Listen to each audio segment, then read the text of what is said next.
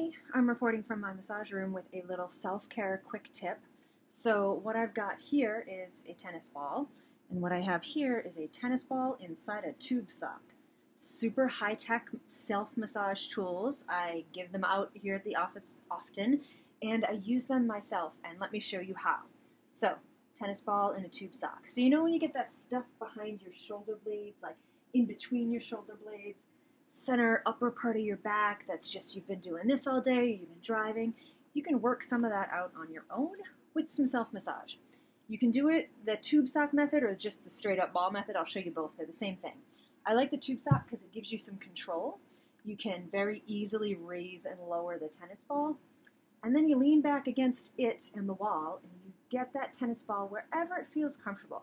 Now, you don't want to be like pushing yourself into the wall. You'll bruise yourself, you'll hurt, but just lean back gently, and then using your your thighs, your legs, you can, or up and down on your tippy toes, you can kind of roll back and forth, side to side, up and down.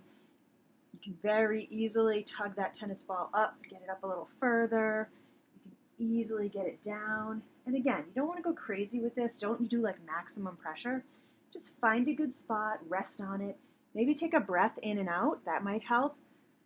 You'll feel more pressure and you'll feel it move as you breathe. You go up and down a little bit. Not rocket science. You can do that with just the ball. You have to have a little more coordination. I kind of tend to roll the ball down a little bit to get it in the right spot. A little bit lower. There we go. And then just tiptoes up and down. You can get it nice and low. Let's see if I can move the camera. You can get a little lower into your low back. If You got some glute stuff or like the top of the pelvis. You can, oh, I got my phone in my pocket. That's classy. You can get right into those spots on your on the top of the that rim of your uh, your hip. There we go. You can go back and forth, up and down. Um, there's a nice spot, kind of low at the lower ribs. You can gently lean back on, up and down, back and forth. You can, if you can get really fancy about it. I don't do this a lot. Some people do um, like rolling their, oops, I, wrong camera. Some people do like rolling their arms. I don't get that fancy. If you've got a lot going on in your deltoid, you can totally do this.